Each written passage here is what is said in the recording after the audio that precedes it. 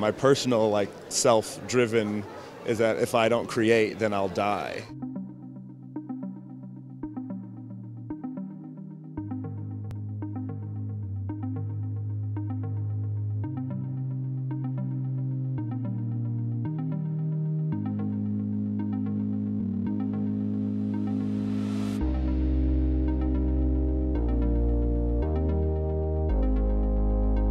Sort of like showcasing the, the most up-to-date version of how I perceive street culture merging with high fashion.